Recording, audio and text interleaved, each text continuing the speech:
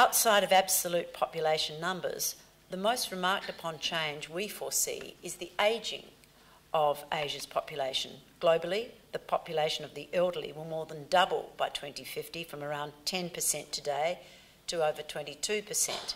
Staggeringly, in Australia, life expectancy in 2050 will be around 95 years for men and 96 for women.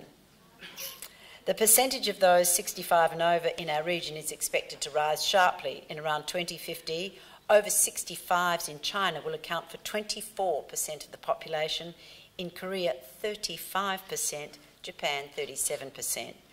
Those 80 and over, a population that well, we currently associate as higher cost, higher dependency, will account for 4.5% of the population in Australia, 6.5% in China. In Singapore and Thailand, those over 80 will make up 11 or 12% of the entire population. Australia must be open to these trends, ready to compete on the world stage and to nurture the individuals, the creative people, the groups, and the organisations that will reinvent the way we do things. It will be openness to ideas, trade, investment, and technological change that will be the key to addressing the challenges of democracy.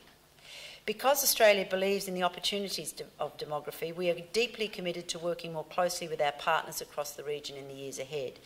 We're placing Australia at the forefront of capturing the benefits of the rapid changes we're witnessing. In a world where demographics can work against you, we are in a truly exciting region. A powerful set of opportunities await an enterprising nation that is ready to engage in our region. Ladies and gentlemen, we are exquisitely placed and geography will be our destiny. Thank you.